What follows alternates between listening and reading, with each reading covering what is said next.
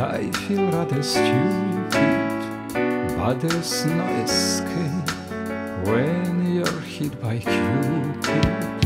Girl, you are the best that happened to me lately. I summon up my guts and ask you, would you date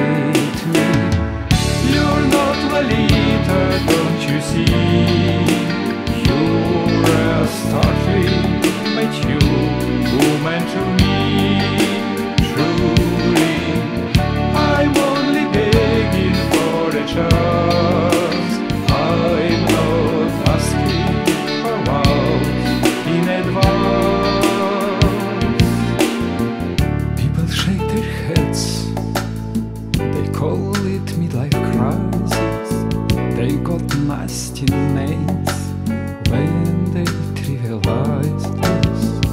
Even if they're right, does it make my feelings less honest, less deep? Those frames are misleading. You're not Lolita,